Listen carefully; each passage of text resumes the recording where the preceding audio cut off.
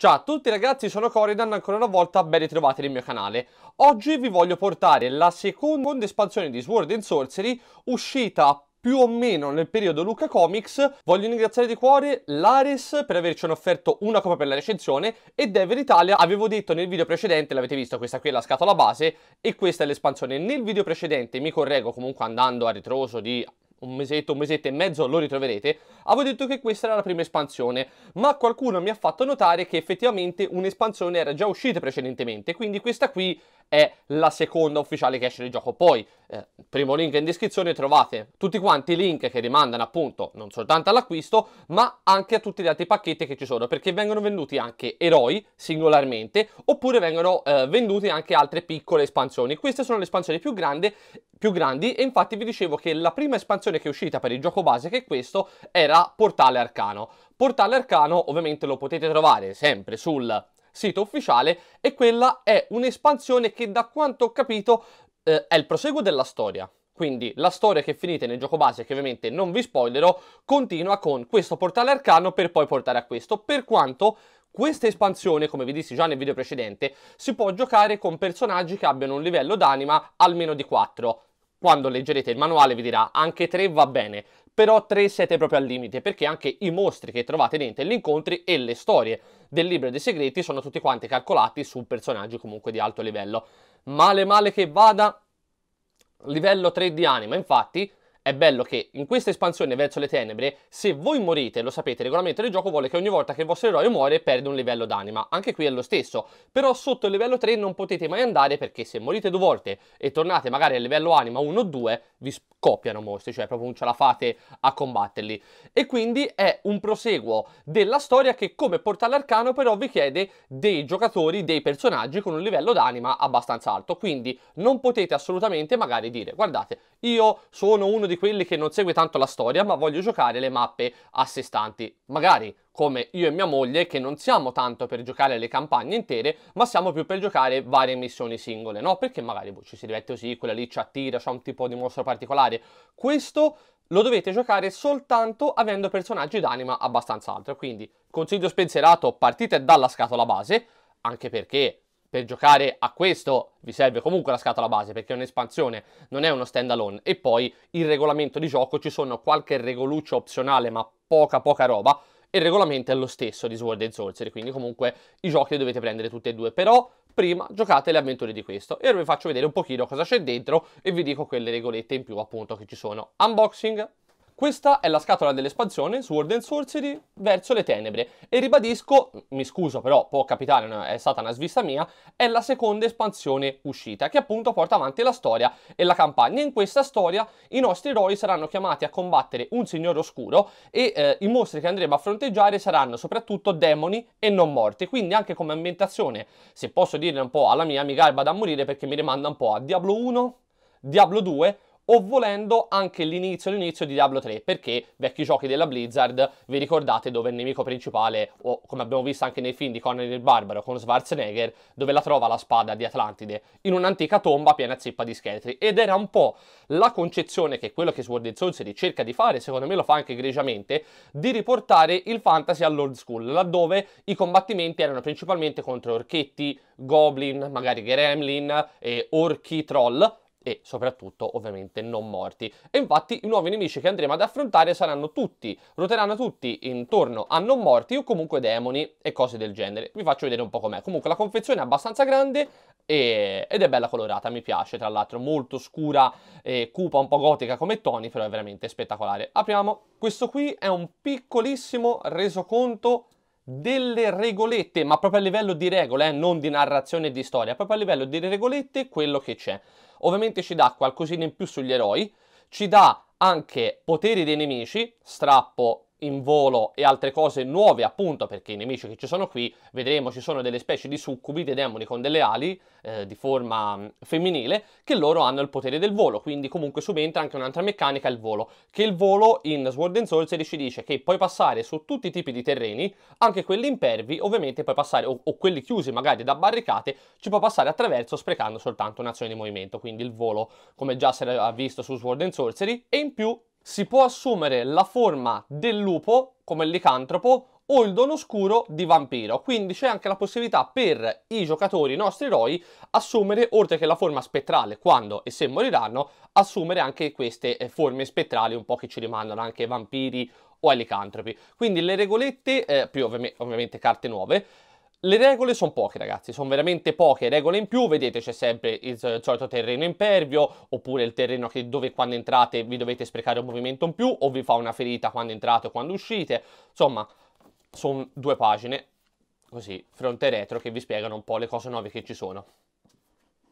Libro dei segreti, verso le tenebre, ve lo faccio vedere un pochino ragazzi perché qui siamo veramente a rischio spoiler, quindi anche vedete i disegni che ci sono dentro, tutte quante le regole, soprattutto le tracce che ci sono all'interno, le tracce dell'avventura e gli eventi sia pubblici che non, comunque quelli che poi troverete nei vari setup delle mappe e ragazzi basta veramente perché cioè, il bello di Sword and Sorcery è questo, se ci levate il libro dei segreti è un po' insomma lo rovinate secondo me al 50%. Libro delle storie, ripeto ancora una volta il regolamento non c'è perché ovviamente è un'espansione del gioco di base, però il libro delle storie dove qui senza rischio spoiler né niente, vi fanno vedere i setup delle nuove mappe. Quindi i setup delle nuove mappe della nuova campagna, tra l'altro con le nuove pedine che ci sono, ma eh, potrete usare anche le pedine vecchie e delle altre espansioni, perché capiterà magari nel mezzo di trovarci un orchetto o un gremlin o qualcosa del genere. E qui vi fa vedere il classico setup di sempre. Qui si vedono tutte quante le pedine, che ora poi vi apro e vi faccio vedere un pochino nel dettaglio, e al solito i colori sono sempre quelli classici. I colori sono da un mostro verde, che ho, prendendo sempre eh, World of Warcraft, mostro di base, quindi classico peon, comunque mostro truppa di base, andiamo a un mostro blu che è un elite, andiamo a un mostro di colore rosso che è un boss, e andiamo a un mostro di colore viola, comunque porpora, che è un arcinemico. Quella che vedete qui, invece grigia, è la forma che vi dicevo di licantropo, e anche questa, secondo me, è una figata unica. Al solito, ragazzi, guardate il livello di dettaglio di queste miniature che è spettacolare, bellissimo, rende da paura e questo è una delle succubi appunto dei demoni come vi ho detto principalmente sono quelle creature, quei nemici alati che quindi possono volare sul campo di battaglia e non soffrono delle limitazioni al movimento appunto di alcune zone. Uguale, soltanto di colore blu andando appunto su un elite e quindi sono mostri che hanno più punti ferita e ovviamente fanno altri tipi di attacchi e hanno un altro tipo di scheda per l'intelligenza artificiale. Un combattente o comunque una specie di centurione non morto, anche qui con la lapide dietro che si è appena alzato, bellissimo, mi piacciono da morire, un licantropo, mamma mia, anche qui fine del mondo, mi galmano veramente tantissimo i dettagli di queste miniature, sono molto belle e secondo me ispirano anche qui alla pittura, per quanto Ve lo dico sinceramente, occhio a pitturarli perché i colori delle miniature hanno un senso. Cioè, se voi pitturate una miniatura e poi non vi ricordate quale tipo è, metterla in gioco potrebbe essere un problema, perché se voi pitturate un mostro verde e un mostro blu e li fate degli stessi colori che siano uguali, poi come vi ricordate qual era il mostro base e qual era l'elite, ecco magari se le dovete pitturare, consiglio mio, fate un simbolo sulla pedina o qualcosa, insomma, che si riconosca un mostro elite o la colorate lì, ecco, la potreste colorare anche lì. Lasciate la rima magari qui del colore. Voilà, eh, come consiglia mia moglie, infatti. Tutto il resto lo colorate. Lo e lì il giro lo fate del colore che dovrebbe essere. Per concludere con un signore oscuro o un necromante dei non morti, che è veramente qualcosa di spettacolare. Con le ali scheletriche.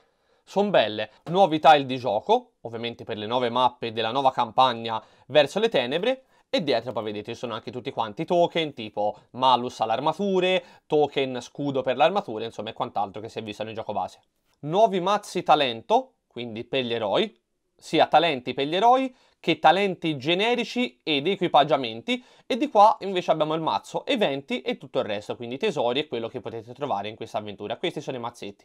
Schede intelligenza artificiale dei mostri, quindi quelli nuovi che ci sono, più davanti carta per la forma appunto per il dono oscuro e per la forma dell'icantropo che vi dicevo e le carte dei mostri. Quindi queste sono le carte dei mostri, mentre invece di qua abbiamo le carte dell'intelligenza artificiale per muoverli.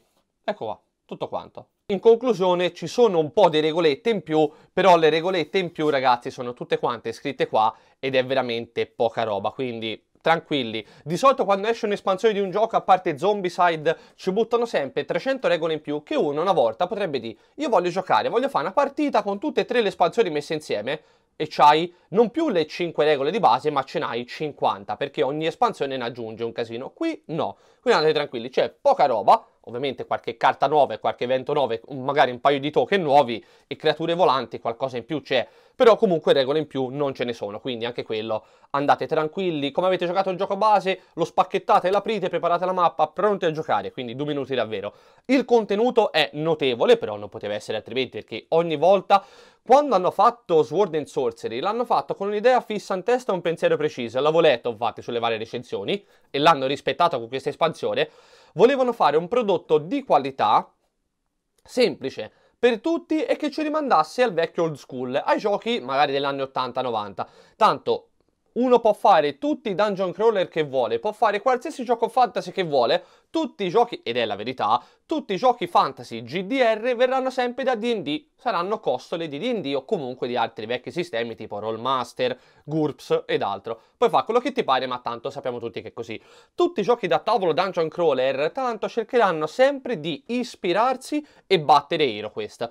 Battere non ci riuscirà nessuno, perché HeroQuest è unico, però comunque ci sono giochi che ci si avvicinano di più a HeroQuest rispetto ad altri. Ad esempio, eh, un Descent da una parte ci si avvicina, magari Sword and Sorcery da una parte ci si avvicina di più, magari Dungeon Saga per il fatto dei componenti che c'è dentro, che comunque ci sono anche su Sword and Sorcery, solo che non ho fatto il Kickstarter, se no ti davano anche gli screen, 3D e tutto, bellissimo, vabbè lasciamo sta. E... Eh, chi più chi meno ci si avvicina. Comunque quello che cercano di fare è di eh, creare un dungeon crawler che sia divertente e giocabile da tutti. Ora, anche questo segue come il gioco base le mie stesse impressioni, ovvero che è un gioco per tutti, però è un gioco più per fanatici del genere, cioè questo non lo portate in casa di cuginetti o familiari perché ci vuole un bel po' a spiegare le regole e soprattutto il setup iniziale, almeno un quarto d'ora, 20 minuti ve lo porta via. E ci sono tante cose da spiegare perché semplicemente da un tiro di un dado non c'è solo colpito o mancato, ma magari c'è anche il fulmine che attiva un'attività, un'abilità, c'è il simbolo dello, del, dell'elmo con le corna che è un colpito, c'è il simbolo dello scudo che è un parato, insomma ci sono almeno 4-5 simboli da tenere a mente che a seconda delle varie abilità, talenti o reliquie che vai a impugnare, anche armi, potrebbero attivare qualcosa. Insomma, c'è tante cose da tenere a mente. È un gioco per tutti, però è un gioco per tutti gli amanti del genere. Partendo da Hero, sta arrivando fino a Dash e altri giochi. Questo portato a casa di... non è un gioco da famiglia, ecco, mettiamolo così. È un gioco solamente per, per un pubblico un po' più avanzato come l'età. Mi sentirei di consigliarlo dai 12-13 anni in su. Comunque, in questa espansione, seconda espansione verso le tenebre, c'è un casino di roba come abbiamo visto. Carte, talenti, più ovviamente equipaggiamenti e quant'altro. Un casino di nuovi eventi. Nuovo libro delle storie con i setup. Nuovo eh, libro dei segreti, eh, nuovi mostri che poi le pedine sono veramente tante, belle fatte bene, quindi di alta qualità. E quindi è un gioco che assolutamente un'espansione che non deve mancare, però consiglio spensierato, io ho detto d'amico, prima... Pre ora, se trovate un'offerta, trovate magari quello, un'offerta o magari sotto Natale che ha 120-150 euro vi dà Sword and Sorcery più tutte le espansioni, prendetela subito al volo. Però prima per vedere se vi garbo tutto prendete di sì, prendete Sword and Sorcery, giocatelo, finite la campagna anche perché è rigiocabile. Se la giocate come legali buoni va in un modo, se la giocate come eh, caotici malvagi va in un'altra strada, quindi prima finitela. Poi comprate Portale Arcano e poi comprate questo, però questo la potete comprare anche direttamente dopo, senza Portale Arcano, perché comunque potete collegarla alla storia. Se gli devo dare un voto, gli do assolutamente un 8 su 10, meritatissimo, è un'espansione che lo valorizza, non aggiunge regole in più ed è un bene, quindi aperta e giocata, però aggiunge tante cose in più alla storia. E, scusateci, se non ci facciamo un gameplay, però prendere il gioco base, tutte le cose più questo, non abbiamo nemmeno tanto lo spazio. Ma non vi preoccupate, perché nelle prossime settimane arriverà un gameplay completo della prima missione di Sword and Sorcery, così anche quello vi servirà per farvi un'idea più, per vedere se, senza tagli né niente, quindi per vedere se vi piace come tipo di gioco oppure no. Ma io sono convinto che se come me siete amanti di HeroQuest e di Dungeon Crawler, non ve lo farete scappare, è veramente un gioiello. Io ringrazio ancora una volta Ares e Dever Italia per averci offerto una copia di questo capolavoro, quindi grazie veramente di cuore ragazzi, siamo sempre aperti ovviamente a collaborazioni ed è un onore collaborare con voi e grazie per questa possibilità, grazie davvero, apprezziamo molto. E quindi un gioco che non deve mancare potrebbe essere anche un bel regalo appunto da fare un amico comunque qualcuno che è fissato che già ha eh, la copia base del gioco quindi grazie veramente di cuore e trovate il primo link in descrizione per il sito dell'Ares dove trovate tutte quante le espansioni che sono uscite vi lasciamo anche quello di Dever Italia eh, tutte quante le espansioni, gioco base, così vedete anche eh, tutta la roba in più che c'è e eh, ovviamente tutti quanti anche i link ai nostri social. Fatemi sapere cosa ne pensate in un commento e ci vediamo alla prossima. Ciao ragazzi!